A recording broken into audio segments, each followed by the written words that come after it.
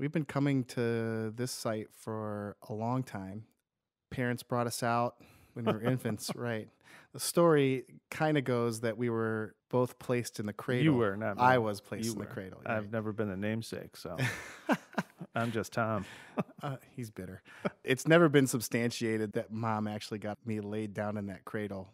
But our grandfather, James Rudolph Garfield, great grandson to the president, he really made it so the family was here a lot and supported the house. We always didn't know why we were coming out. We were kids. Right. But when we were in college, it was so important because I got to really know my grandfather. We worked for him Grandpa was semi-retired.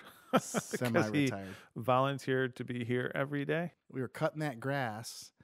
and The whole property we cut with A walk behind. Craftsman 21 inch deck mowers. And in between there, somehow we always got roped in to giving a tour Sure. because back then the house was a self guided tour. Right. And somebody would always say, Hey, are there family members uh, still Right. hanging around? Yeah, It's that guy doing the push mower. Yeah. you see that guy right there? they happen to be uh, family members. Well, Right. why are they still cutting the grass? Well, it's their house.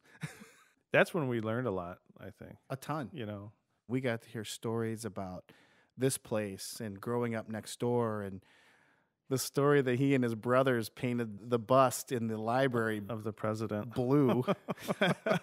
Unsubstantiated again. Right, right.